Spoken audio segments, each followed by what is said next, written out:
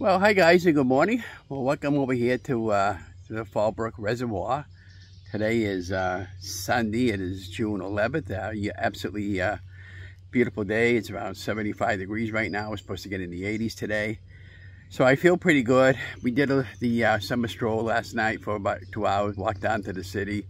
And uh, just let you know, it was going okay. Uh, let me flip the camera on so you can see what I'm looking at.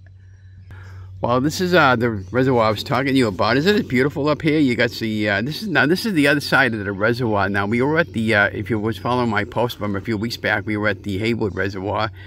This is adjacent to that from the right side when you're coming down Sholan Farms. Just a little bit of a hike down to the path, maybe about a mile. Uh, so I did okay. So today is, uh, I think it's either week 145 or 146 uh, weight loss results. Just let you know how everything went and what went on with the doctor appointments this coming past week.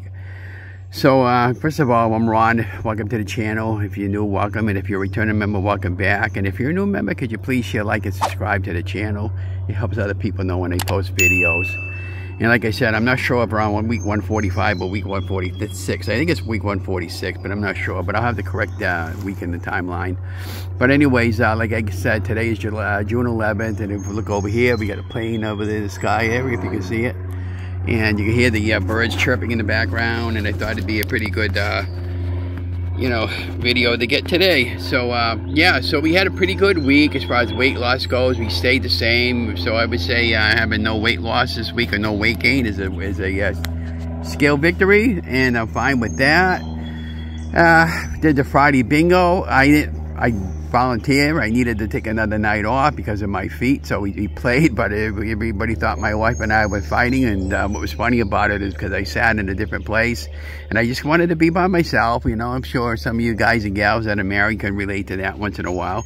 No big deal, you know, but I didn't win, and I did get $10 here, but I mean, uh, that's not really that much. But wife didn't win, and uh, so I had a good uh, night anyways, meeting up with friends, and that's a bug flying in my ear um, probably a mosquito or a mayfly. But uh, yeah, so today, uh, or yesterday rather, I, I got my uh, fishing license and I went down to Walmart's today and I picked up some more fishing gear and another reel that I needed to get. And I'm going to go fishing this afternoon and I'll have another video from that when I do, hopefully if I catch any fish. And, uh, oh, so you want to know about my feet? Well, well, let's, let's get to the feet area. So this past week, the dermatologist didn't want to see me no more because I was being treated at the wound center and Dr. Cadaldo was treating me and now Dr. Green, which I had him before uh, Dr. Cadaldo. Uh, so the wound center said the feet look really good. I don't need to go see them anymore, and that's fine. The dermatologist, I'm all done with her because she uh, didn't want to see me anymore either. And I got pissed off there because I still got psoriasis on my uh, side of my leg over there, and it's really, really bad at times. So, okay, that's fine. Okay, so we're all done seeing her. Now, on the bright side of things, when I went to go talk to Dr. Green on uh, Thursday on my afternoon appointment, he told I asked him, what the heck is really going on? I want to know what's going on with my, my feet. And uh, I don't have diabetic. I'm not a diabetes. I don't have any of that. So basically, it was psoriasis. So all this time, psoriasis, and I had a toe fungus growing on my uh, outside of my toes.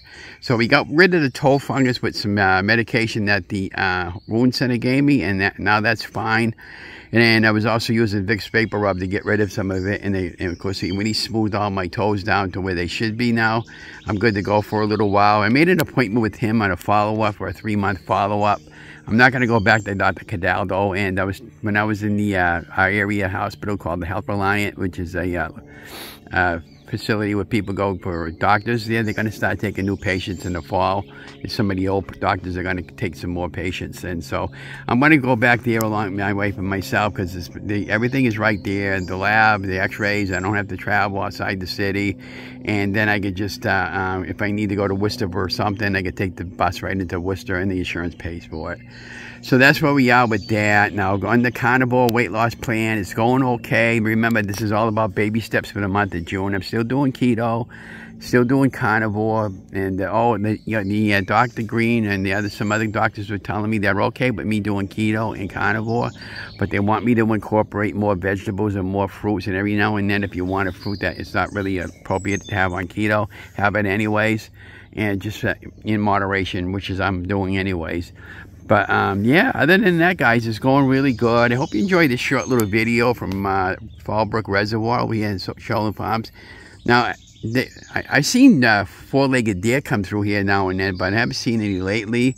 Um, and I know they got bear here, wild animals over here, but I, I haven't seen any. But not, if I came across a bear, I'd probably freak out, but I'd make a lot of noise. Or definitely don't want to run into a bear with mother. If she was a mother with cubs, that wouldn't be a good thing.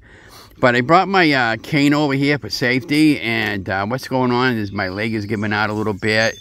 But um, uh, giving back to my feet there, uh, yeah, my feet looking really good. What was going on too with the psoriasis, it was causing my feet to dry up and crack and bleed. And um, when you're walking, when you when you got splits on the bottom of your feet and they're pulling apart as you're walking, that was causing my feet to bleed. And I didn't want an infection to get in, so I was really, really forced to stay off my feet most of the day and uh, just give me time to heal.